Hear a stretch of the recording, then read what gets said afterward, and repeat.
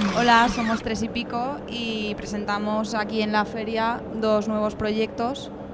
Esto es un paraván que le hemos querido dar una segunda utilidad eh, con unas perchitas y un espejo para poderlo colocar en un recibidor, en un dormitorio. Todo ello se queda integrado porque se puede cerrar y abrir y,